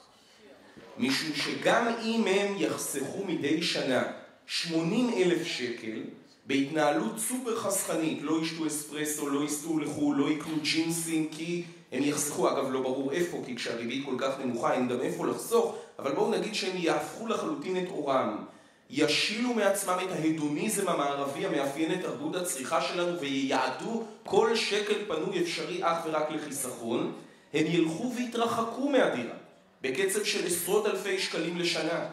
הדבר הכלכלי לעשות היום הוא לבזבז, לא לחסוך, משום שהריבית על חיסכון נמוכה מהאינפלציה. היא ריבית ריאלית שלילית. כל שנה עליית המחירים גבוהה יותר מאשר התמורה שתקבלו על חיסכון, ולכן אם אתם צריכים ג'ינס, לכו תקנו אותו היום. אל תשמרו את הכסף בבנק למחר, כי הג'ינס יתייקר יותר מאשר הריבית שתקבלו בחשבון הבנק. והמציאות הזו, המציאות הזו קשה מאוד למי שאין לו עדיין נכסים.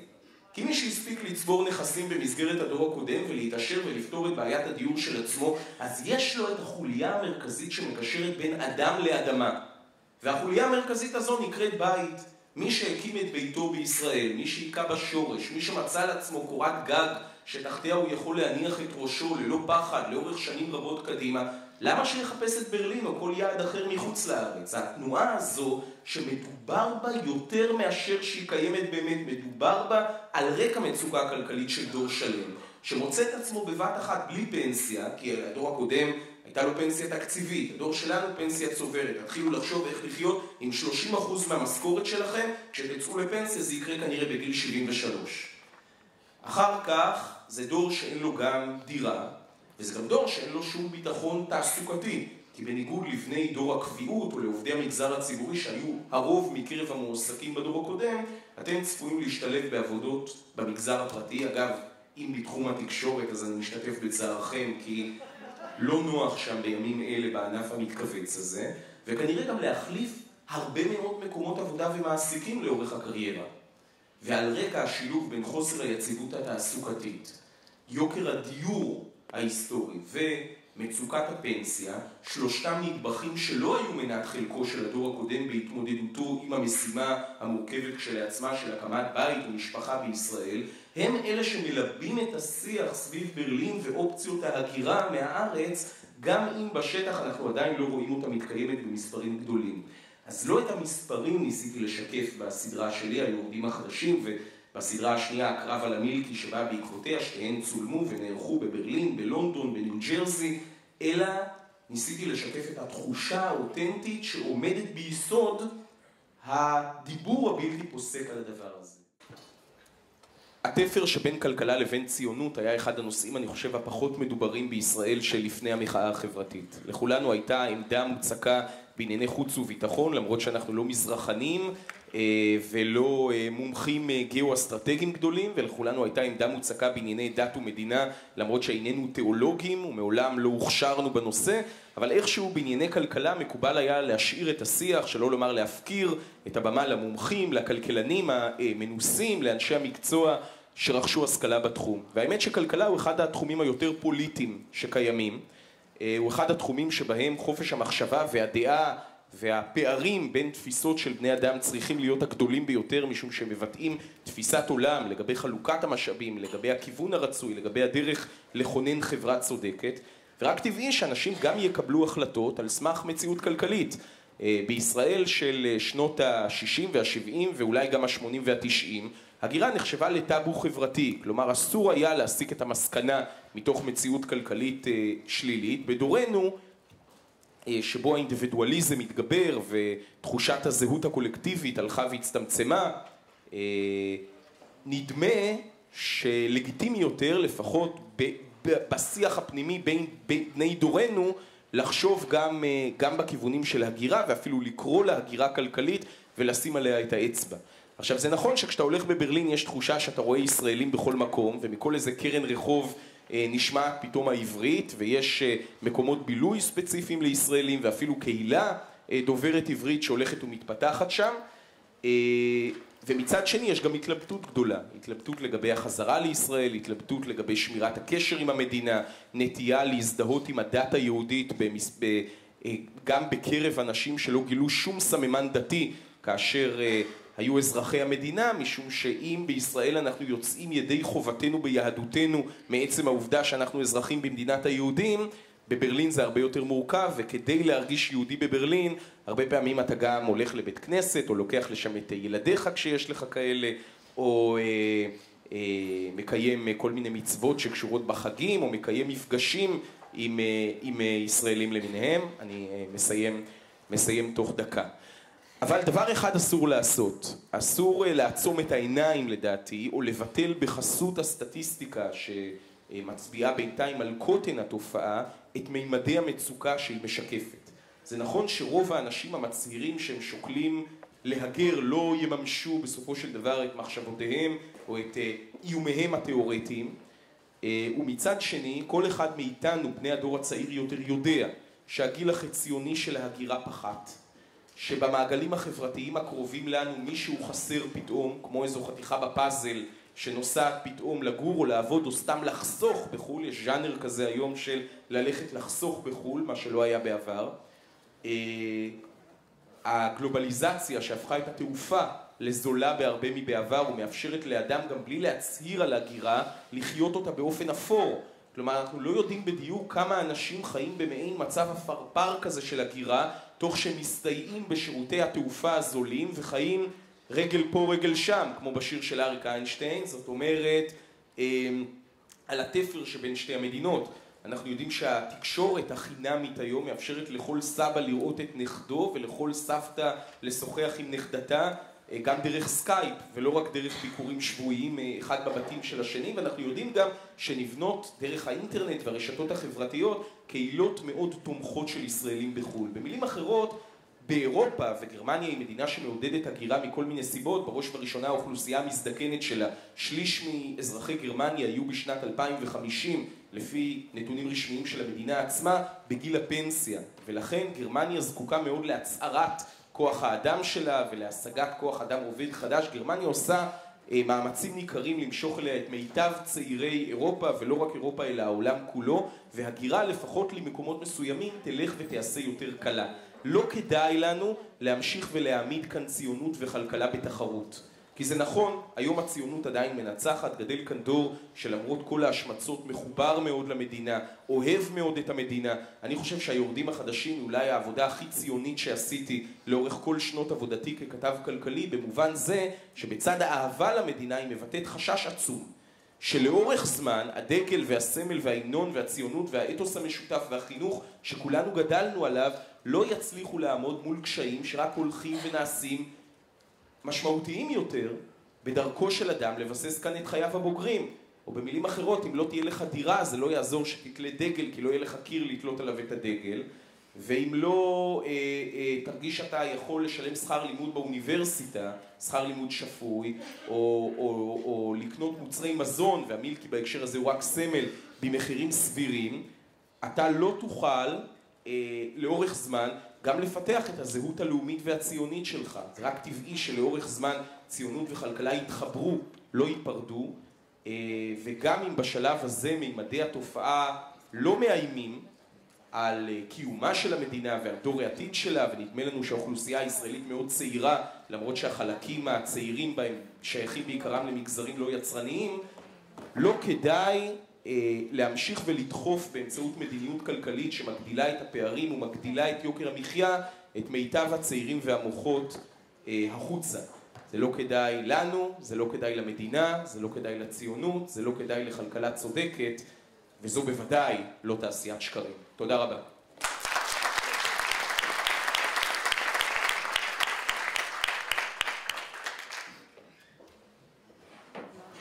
תודה רבה למתן חודרוב. אה, ציונות או אה, כלכלה? האם הגענו כמעט לסוף הדיון שלנו. אה, השאלה של, שעמדה ועומדת במרכזו זה באמת, אה, זה ציונות או כלכלה? זה האם הדה-לגיטימציה של, אה, של ישראל בתוך החברה הישראלית ומחוצה לה גוברת ולכן מאפשרת לשיקול הכלכלי להיות השיקול המכריע? זו בעצם השאלה גם של הבחירות האלה. האם אלה בחירות על, על ירושלים או שאלה בחירות על, ה, על המילקי? האם אלה בחירות על, ה, על הציונות או בחירות על יוקר המחיה וה, והדיור?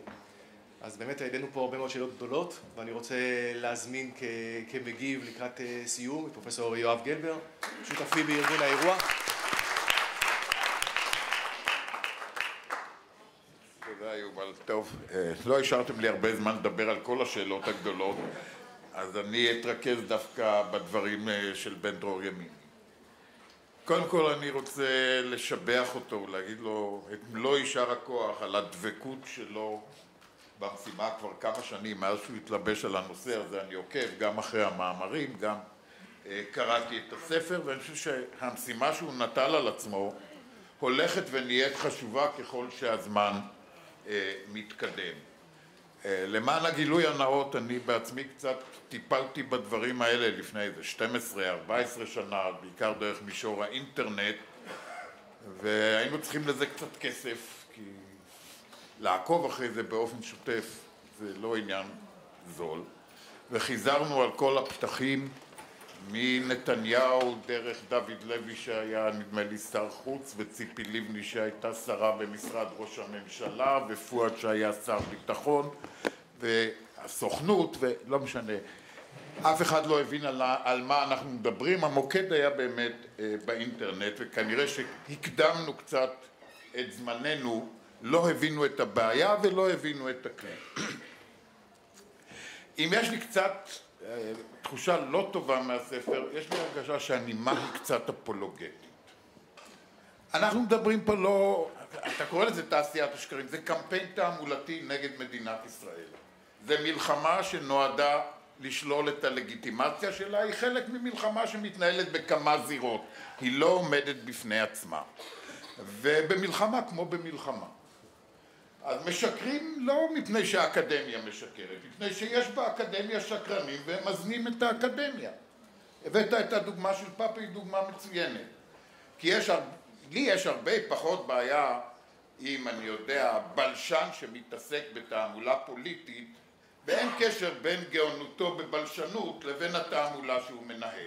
יש לי כן בעיה עם היסטוריון שמשתמש בכלי שלו האקדמי כדי לנהל קמפיין פוליטי, וזה מה שפאפי עושה וזה מה שאחרים עושים, וזאת הזניה של האקדמיה. אותו דבר קורה בתקשורת, אלא שלתקשורת יש פחות מחויבות לאמת מאשר לאקדמיה, לפחות אני מקווה שלאקדמיה עוד יש יותר מאשר לתקשורת. אני חושב שהזיהוי של שתי הזירות האלה הוא זיהוי נכון. אלה הן שתי זירות הלחימה העיקריות היום בעולם נגד ישראל בתחום הזה של הלגיטימציה. אבל השורש של כל הקמפיין הזה הוא בתהליכים הרבה יותר רחבים שלא קשורים דווקא בישראל. יש מהפך כבר 30-40 שנה, אולי קצת יותר, ודאי שהניצנים שלו התחילו קודם, שהעולם עבר משיח של הישרדות לשיח משפטי. או אתה קורא לזה שיח זכויות, זה אותו דבר בעצם. אנחנו עוד לא הפנמנו את זה. אנחנו עוד חיים בשיח שאנחנו נקרא לו הביטחוני, אבל הוא הישרדותי. ואנחנו לא מנהלים את הקמפיין בשיח הזכויות. אפשר לנהל קמפיין תעמולתי יוצא מן הכלל מול הטיעונים הערביים במישור של הזכויות. ולא להצדיק כל דבר שמדינת ישראל עושה בשם הביטחון. זה לא מדבר אל העולם היום. אם אתה כובש, אז אל תדבר בשם הביטחון, אז צא מהכיבוש. אבל אתה לא כובש רק ביהודה, שומרון ועזה, אתה כובש גם בתל אביב. בשייח' מוניס או בסומייל או בכל מקום. אז הגיע הזמן שהתעמולה הישראלית תחזור לזירה הזאת. עכשיו, זה, זאת מערכה שצריך לנהל לא מול המשוכנעים, וזה חלק מהבעיות של ישראל. ההסברה הישראלית, או התעמולה הישראלית, מדברת אל המשוכנעים. הבעיה שהיא צריכה לדבר ללא משוכנעים. וכאן הבעיה היא בעיקרה בעיה של בורות. האויב העיקרי של ישראל בפנים, שתכף אני אדבר על זה, ובחוץ, זאת הבורות, אני לסיום כמעט אתן דוגמה קטנה אחת. לפני זה, זה היה בתקופת האינתיפאדה השנייה, זה משהו כמו 12 שנה, 13 שנים. התעורר לי בכיתה בחיפה איזה ויכוח, אני כבר לא זוכר בדיוק על מה, קשור בסכסוך. עצרתי אותו ואמרתי, אתה, אתה ואתה, צאו ללובי, כל אחד ייקח אזימות, תשאלו את חמשת האנשים הראשונים שאתם פוגשים, ממי כבשנו את השטחים ב-67', מאיפה מתחיל הכיבוש? חזרו אחרי כמה דקות, מ-15 תשובות, 12 אמרו, מהפלסטינים. אף אחד לא מתפלא. כעבור שבועיים בא לראיין אותי איזה עיתונאית עולמית. סיפרתי לה את העניין הזה כאיזה קוריוז. והיא פתחה זוג עיניים גדולות, ואומרת לי, מה, וזה לא נכון? בהולנד כולם חושבים כך. אז לך תדבר על מקרה כזה במחסום, או מקרה אחר במחסום. אנחנו מדברים על הדברים הכי בסיסיים בפרשה הזאת. כמה אנחנו משקיעים בזה? אני לא יודע, בן דרור בודק סטטיסטיקות, אולי הוא יודע. אני יכול להגיד שמעט, אני לא אגיד אפילו פחות ממטוס אחד, זה עוד הרבה הרבה פחות מאשר מטוס אחד. עכשיו, אנחנו גם מדברים על עולם שבו הידע והידיעה התחלפו בדעות. ודעות יכולות להיות הרבה. ויש גם איזו גישה שכל הדעות לגיטימיות. אתה אומר כך, מישהו אחר יגיד את ההפך, לא משנה על מה אתה מסתמך ועל מה הוא מסתמך. שניכם במעמד שווה. שוב דוגמה אחרונה ובזה אסיים. הייתה לי סטודנטית באמריקה, נורבגית, תלמידת M.A, בשעתו הייתה גמרה את ה-MA, חזרה לנורבגיה. היא הייתה ראש מדור ההגירה במשטרת נורבגיה. זיהוי מהגרים, סליחה, במשטרת ההגירה הנורבגית. שמרנו על קשר, אני ביקרתי אצלה, היא ביקרה בארץ, טיילתי איתה. בתקופת מבצע צוק איתן, אני נתקל בפייסבוק באיזה פוסט שלה. כמה הישראלים אכזריים ומתעללים, על מה זה מסתמך? על איזה סיפור של מישהו משוברים שתיקה. כתבתי לה, היא התחילה, על מה את מדברת? לא, לא, לך יש דעה, אני מכירה אותה, למדתי אצלך, גם לו לא יש דעה. אין לי מה לומר מול זה. גם בורות, גם השוויון בין הדעות, זה משימה אדירה שמוטלת על מדינת ישראל. תודה.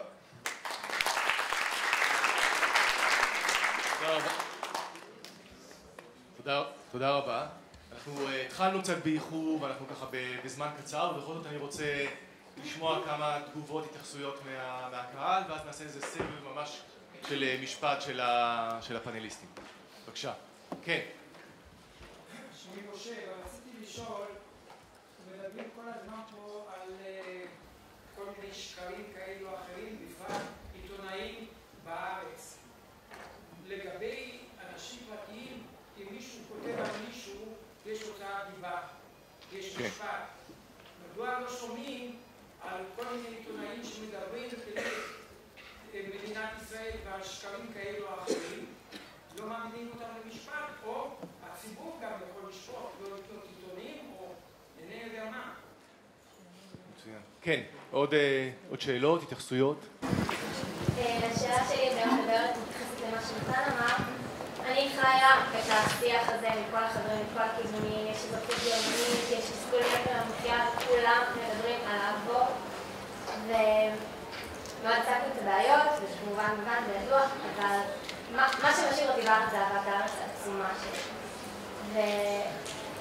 ו... וכן, האמונה הולכת וקטנה, והבחירות הקרובות, אם שוב פעם ביבי ייבחר, זה לא כאן. מה כן, מה כן יכול להקטין את השיח, מה כן יכול רק להחזיר את החברים שלנו שמאושרים שם, ורק אומרים לנו, תבואו, טוב פה, טוב פה. מה כן יכול לעשות טוב יותר, כאילו, איפה כן לשים את המיקוד, להתמקד, ללכת, לחזק. שאלה. עוד?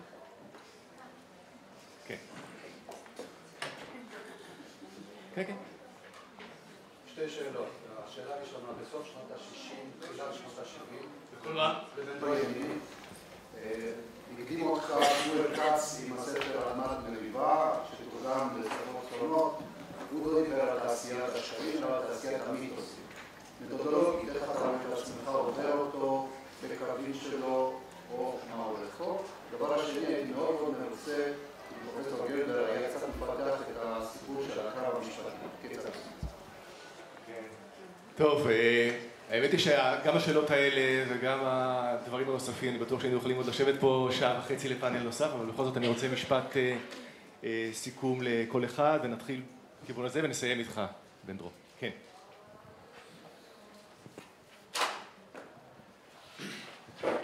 תראה, אני לא יכול לפתח את ה... אני לא יכול לפתח את התשובה. אתן לך דוגמה אחת, לפני איזה שבועיים היה בטלוויזיה סרט קללת הבריאה. מה? עכשיו לא שומע. עכשיו? עכשיו? לפני איזה שבועיים נדמה לי, היה בערוץ אחד סרט שנקרא, בערוץ המחתרתי, קללת אדריאנוס, גם הופעתי. במקורו הסרט הזה היה צריך להיות על התנגשות הנרטיב הפלסטיני והישראלי על ארץ ישראל. בפועל, מה שיצא זה סרט על הנרטיב הפלסטיני עם ביקורת של ישראלים על הנרטיב הזה. זאת אומרת, הנרטיב הישראלי עוד לא נכנס לזה. דיברתי אחר כך עם הבמאי, שאלתי איך הגעת לזה, הוא אומר, נגמר לנו הכסף באמצע. אבל אנחנו בכלל לא מציגים את הקייס שלנו, אנחנו מתווכחים אם הקייס הפלסטיני צודק, לא צודק, או עד כמה הוא צודק. אבל אנחנו לא מתעסקים בקייס שלנו, ויש לנו. מתן, תקשורת שמאלנית? כן. במענה קצר לסוגיה החשובה שאת מציפה, אני חושב, דעתי הפרטית היא, אחרי שתי סדרות של כתבות בברלין, שאסור לוותר על הארץ. כלומר, היא לעולם לא תהיה המקום הזול ביותר לחיות בו, ולעולם לא משתלמת רק בפרספקטיבה כלכלית, אבל בסוף זה המקום שלנו, ואני מאמין בכלל בחיים כפילוסופיה, בפייט, לא בכניעה ולא בהרמת ידיים. אז כל אחד יכול לבחור את נקודות ההשקה שלו למציאות ואת מידת המעורבות פוליטית, שיפוטית, משפטית, דרך עמותה, אחרת. אני בחרתי בזירה העיתונאית, שהיא בעיניי כלי, אתם תלמידי בית ספר לתקשורת, הזירה העיתונאית היא כלי חשוב ביותר לשינוי המציאות, וכלי התקשורת הביקורתיים, אלה שמציעים פה להגיש נגדם תביעות דיבה בשם הציבור וכולי וכולי, הם במקרים רבים החסם האפקטיבי היחיד שעומד בפני המשך המדיניות שמעשירה את המעטים ומיטיבה עם קבוצות לחץ על חשבון הציבור כולו. ואני חושב שהטרגדיה הגדולה של הצעירים בישראל זה שמדובר בציבור עצום של אנשים שעובדים קשה מאוד, הם לא מאוגדים ואין להם כל כך זמן לפעול במישור האזרחי, אבל זה הדבר הטוב ביותר שהם יכולים היו לעשות לעצמם. לא להתייאש כי קשיים בקשיים, אתה תיתקל בכל מדינה שאליה תלך, ונכון שכרגע החיים במקום אחד נראים טובים יותר או זולים יותר, אבל מחר הם יכולים להיראות אחרת, ובעיקר לא נראה לי נכון כתכונת אופי להרים ידיים וללכת במקום שבו קשה ולא מצליח. אני אה, ב-12-13 שנה האחרונות שאני עיתונאי, אני עם הקילומטראז' הנמוך ביותר פה מבין כל החבורה שעל הבמה, אני עשיתי לעצמי כלל להתעקש ולנסות, ואם זה לא עובד ככה, לעשות אחרת, ולחפש עוד כיוון ועוד כיוון עד שזה מצליח. זה, זה הדבר הטוב ביותר שאני יכול לומר. אני חושב שאסור לוותר, אבל אני חושב שמאוד מאוד חשוב להביע דעה, להשתתף במשחק, למצוא את השדה המתאים ביותר להשפיע ולהוביל במסגרתו את השינוי. כן. אני רוצה, אני רוצה להצטרף למה שמתן אמר, כי את חשפת אותי כמובן. והסיבה באמת לדיון הזה ולחיבור הזה בין הדה-לגיטימציה של ישראל לבין השאלה של ברלין היא בדיוק זאת. לבוא ולהגיד שאנחנו עדיין אה, כאן ויש טעם להילחם על החיים שלנו בחברה הישראלית ואנחנו יכולים ליצור פה חברת מופת ולהשאיר את הצעירים שלנו פה, להילחם על הלגיטימיות שלנו ולעשות את שני הדברים האלה ביחד. אם כי זה מאוד קל להגיד את זה תמיד מהפוזיציה השבעה יותר של פני הדורות הקודמים שמסתכלים, זאת אומרת בסדרה אמר דברים דומים דן מרגלית, הוא אמר כן אתם צודקים, הצעירים צודקים, באמת המדיניות הכלכלית מקולקלת וכולי, אבל עזיבת הארץ היא הקו האדום, אל תשקלו את עזיבת הארץ, אני אומר בכל הכבוד, ויש לי המון, אני לא אומר מן השפה אל החוץ, המון המון כבוד לאנשים האלה, קל יותר לדבר על פטריוטיזם ועל ציונות מתוך חצר של בית פרטי, אז, אז צריך, צריך גם להביא בחשבון שנכון, צריך להיאבק, נכון, יש על מה להיאבק, אבל לא כדאי להמשיך לדחוק את הצעירים האלה to the extent, כי בסוף הם, בסוף הם לא יצליחו להמשיך להתמודד. לגמרי, אין ספק. אה, אנחנו...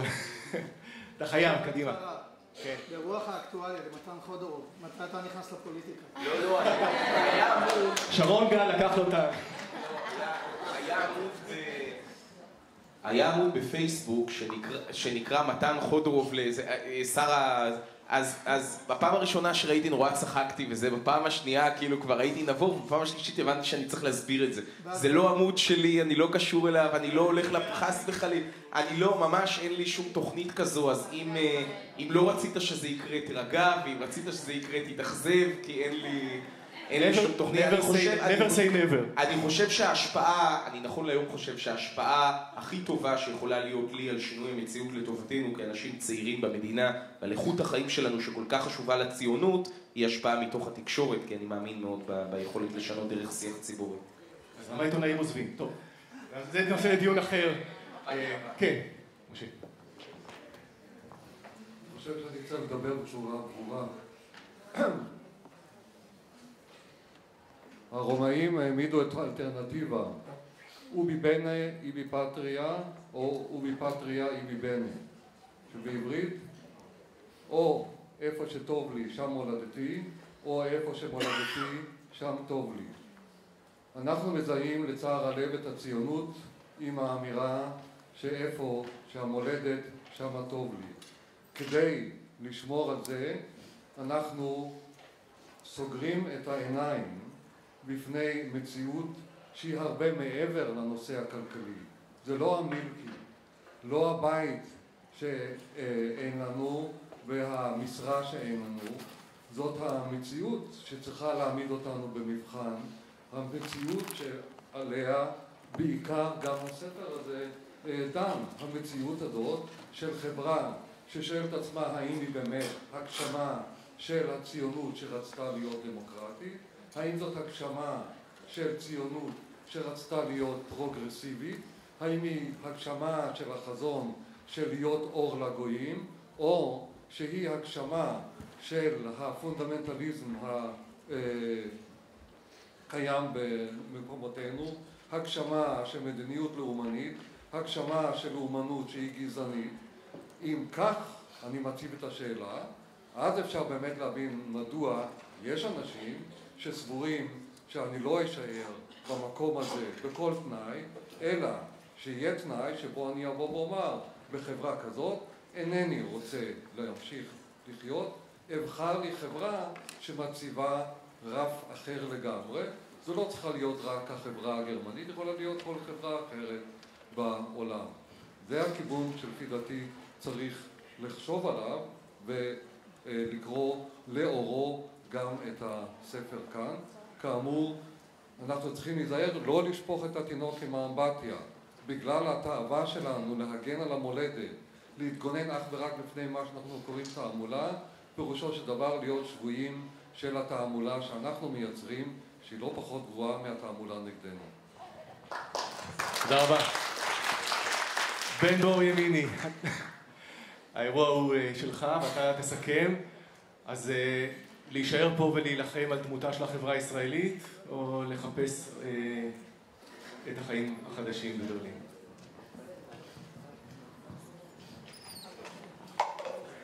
אני חייב להודות שאני נמצא בדילמה הזאת אה, באופן קבוע, ברמה האישית, כי זוגתי היא, אה, היא פרופסור בצרפת, לא בישראל. אה, ואנחנו מבלים שם, המשפחה, אני קצת פחות, שלושה חודשים בשנה, סמסטר אחד בלבד. אבל הביטוי הזה, זאת אומרת לעבור כי יש לך מקום, יש לך בית, יש לך מסגרת, זה ביטוי שקיים. והעובדה שאנחנו בכל זאת נשארים כאן ולא במקום אחר, אה, היא מהסיבה הפשוטה שאין מה לעשות, יש דברים שהם מעבר לעניינים אה, כלכליים, שהם מעבר לתנאים, הם מעבר למחירים, אגב בצרפת הם גבוהים יותר מאשר בברלין מאשר בישראל, זה קצת שונה, כל הזמן מדברים על ברלין, אה, אבל כאשר אתה מעמיד את מכלול הסיבות, אז התוצאה היא להילחם כאן ולא לעבור לשם. אה, מה גם שהרבה מאוד צרפתים, וזה עלול לקרות גם בגרמניה, אה, יהודים, אה, מגיעים לארץ מהסיבה הפשוטה, הם לא מרגישים שם טוב. זה דבר אחד. אבל עכשיו בהתייחסות לשאלות. לשאלה של השואל הראשון, אני לא חושב שהוא התכוון שצריך להעמיד אותך לדין. מה שהוא התכוון לאותם מקרים קיצוניים מהסוג של ג'נין ג'נין ועוד מקרים שאני לא רוצה כרגע להזכיר. במקרים כאלה יש מחלוקת פוסקים. אה, שי ניצן, שעכשיו הוא אה, פרקליט המדינה, היה מאוד בעד העמדה לדין של אה, מוחמד בכרי. למשל, מי שהתנגד זה היועץ המשפטי. יש מחלוקת קשה, אני לא רוצה כרגע להיכנס לסבך המשפטי, יש צורך בהצטרפות היועץ לתביעה כדי ש... אוקיי, אה, מכירים, יופי, אז אני לא צריך להסביר. אה, אני לא רוצה להיכנס כרגע למחלוקת, אבל שיהיה ברור רק שגם בצמרת המשפטית של מדינת ישראל יש מחלוקת אה, בעניין הזה. אני מאוד מאוד שמח שאנחנו שומרים על המבנה הדמוקרטי שלנו ועל הערכים הדמוקרטיים שלנו.